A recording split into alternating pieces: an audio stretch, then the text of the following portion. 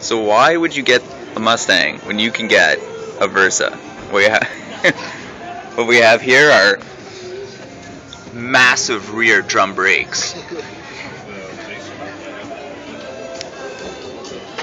Versa, a high performance Xtronic CVT transmission, excellent styling, and an awesome antenna. This is this is the reason why you would get a Versa is the antenna. Clearly, No, man, check out the seats. The upholstering is incredible. Look at that. Look at that.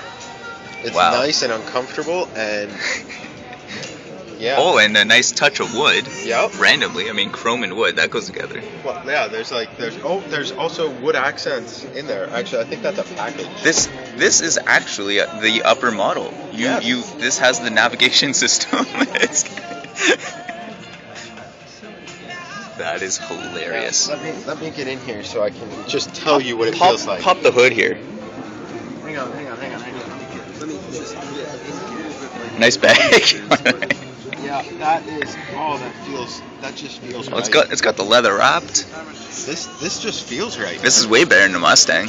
This is. Oh, the seats are so uncomfortably awesome. Uncomfortably awesome. My back already hurts. Here, pop the hood on this bad boy.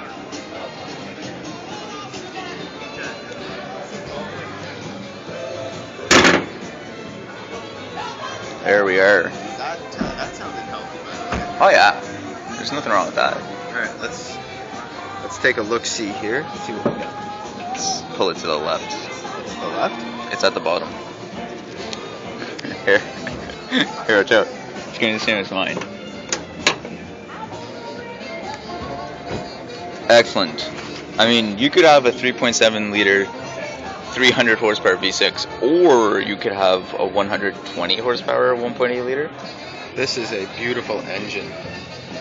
Look at that engine cover. Look at that. Look at that. That that is sexy. Yes. With the made in Mexico insignia right there. That's just it just reeks of quality versus the Ford Mustang. Hey man, if anything, this at least it's made in Mexico and not China.